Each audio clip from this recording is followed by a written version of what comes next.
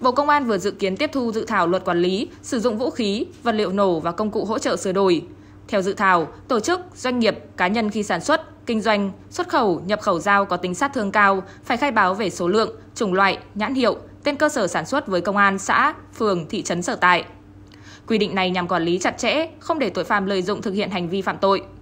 Dao có tính sát thương cao là phương tiện lưỡng dụng được người dân sử dụng phổ biến trong lao động, sản xuất, sinh hoạt hàng ngày. Do đó, tổ chức, doanh nghiệp, cá nhân khi sản xuất, kinh doanh, xuất nhập khẩu dao có tính sát thương cao thuộc danh mục do Bộ trưởng Bộ Công an ban hành phải khai báo để công an xã, phường, thị trấn nắm bắt. Việc khai báo này không phải vì đây là ngành nghề, đầu tư kinh doanh có điều kiện về an ninh, trật tự mà không phát sinh thủ tục hành chính.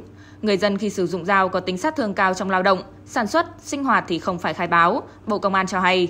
Theo Bộ Công an, quy định nói trên là biện pháp phòng ngừa, đấu tranh phòng chống tội phạm nhưng vẫn đảm bảo không ảnh hưởng đến hoạt động sản xuất, kinh doanh của doanh nghiệp và người dân.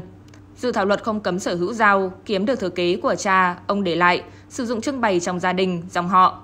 Tuy nhiên, cá nhân sở hữu vũ khí trên phải khai báo. Chúng tôi muốn siết quy định dao có lưỡi từ 20cm trở lên vì các loại dao găm được trang bị cho lực lượng vũ trang để thi hành công vụ và thực tiễn đấu tranh với phạm tội cho thấy đa số các loại dao thu giữ được đều có lưỡi từ 20cm. Bên cạnh đó, Bộ cũng tham khảo luật pháp Nga, Belarus, Australia đều quy định kích thước lưỡi dao để quản lý.